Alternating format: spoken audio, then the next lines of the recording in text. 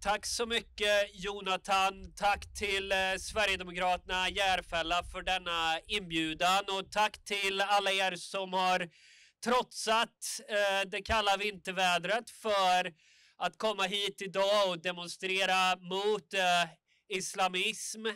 Eh, och till er som sitter där hemma och tyckte att eh, det, det var lite för kallt för att komma idag så eh, ja, jag kommer att tänka på vad, vad vi föräldrar säger till våra barn när när eh, de inte äter upp. Tänk på barnen i Afrika. Eh, och till er som tycker att det är för kallt för att dem demonstrera där hemma, tänk på demonstranterna i Iran. Eh, de får utstå otroligt mycket och befolkningen i Iran har eh, fått utstå otroligt mycket sen islamisterna tog över 1979. Mullorna och deras hantlangare har sedan dess förtryckt och förföljt sin befolkning. I islams namn har de anammat eh, den avskyvärda taktiken att injaga skräck i oppositionen och undertrycka prodemokratiska protester. Och vi ser till och med hur skolflickor förgiftas. Det finns inga gränser. Inga gränser alls. Men det är tyvärr inte särskilt egendomligt. Ofrihet, förtryck och förföljelse är alltid resultatet när islamister får politisk makt. Det är islamismens själva väsen. Själva ordet islam betyder för övrigt underkastelse. Och om människor inte är beredda att underkasta sig frivilligt så vill islamisterna använda statens fulla makt, statens järnäve för att tvinga dem till underkastelse.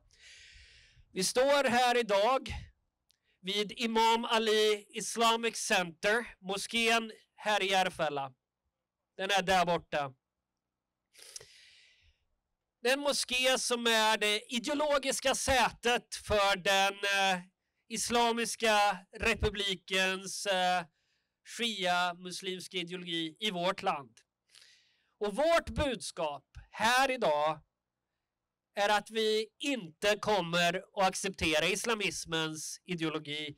Inte här, inte nu, aldrig. Irans totalitära shia-islamiska styre, mullorna, vill exportera politisk islam. Den globala islamiska revolutionen är deras vision. Deras andliga ledare, Khamenei, kallas profetens ställföreträdare och de påstår att han är Guds representant på jorden. Han är överbefälhavare. Och det är de här teokraterna som organiserar och mobiliserar islamister globalt. Deras mål att tvinga fram underkastelse. Och för att nå sina mål drar de sig inte för våld och terrorism.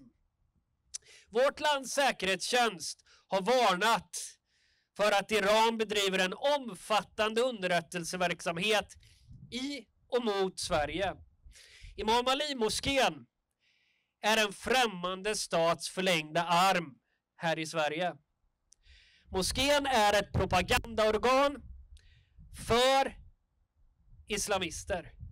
De utnyttjar Sveriges yttrande, förenings och religionsfrihet samtidigt som de motarbetar dessa värden. Trots detta, kära vänner, får de bidrag för sin verksamhet. Och jag tror det är många som frågar sig varför ska vi bistå islamisternas mission för politisk islam? Varför ska vi betala för diktaturens spionage? Varför ska vi subventionera den islamiska regimens terrorverksamhet? Att islamisterna hatar kvinnor och vill svepa in dem alla i svarta gardintyg, det vet vi. Trots det åkte vår förra så kallade feministiska regering dit på handelsresa. De kvinnliga ministrarna, här hemma feminismens fanbärare, ja, de valde att underkasta sig och svepte in sig. Och vad svarade den feministiska regeringen när Uppdrag granskning förra året avslöjade att fyra företrädare för denna religiösa institution här borta varit villiga att förmedla så kallade tidsbegränsade njutningsäktenskap i utbyte mot betalning. Inget. Nada. Inte åtal. Inte stängning. Inte ens indragna bidrag. Feministerna i regeringen var uppenbarligen redo att ge statligt stöd till en slags koppleriverksamhet. Bara man kunde hänvisa till den fina mångkulturen förstås. Trots överväldigande bevis på teokraternas onda och dubbla moral väljer våra myndigheter att fortsätta med att vara både enfaldiga och omdömeslösa.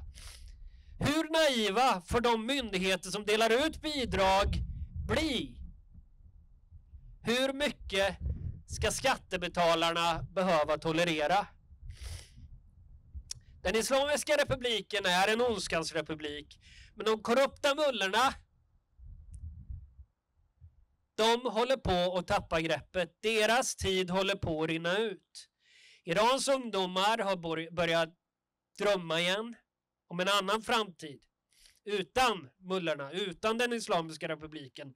Om demokrati, frihet, likhet inför lagen för både män och kvinnor. Kära vänner, det är hög tid att genomföra Järfälla Sverigedemokraters förslag och stänga den här moskén här borta. Det vore ett första lokalt steg att markera mot islamisternas diktatur och könsapartheid och visa stöd också för demokratirörelsen i Iran. För kommer de tro att Sverige står på deras sida när Sverige samtidigt pumpar in miljoner i den globala islamiska revolutionen som mullorna vill ha? De kommer att höra dubbla tungor.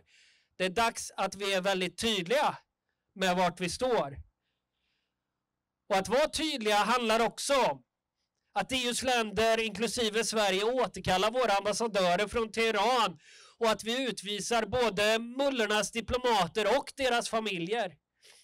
EU borde bjuda in företrädare för det iranska folket. Det finns en samlad opposition redo att träffa EUs ledare. Det är min uppmaning till Tobias Billström, utrikesminister, här idag. Träffa dem. Träffa inte mullornas representanter. Kära vänner, låt oss komma ihåg, det är samma muller där som här. Här som i det här huset bakom er. Och en sak är säker. Islamister hör verkligen inte hemma i Järfälla. Inte heller i Sverige. Och inte i EU. Vi kommer aldrig underkasta oss deras avskyvärda ideologi. Och vet ni, om jag förstått det iranska folket rätt, hör islamisterna inte heller hemma i Iran. Inte heller iranier vill vara underkastade. Tack så mycket.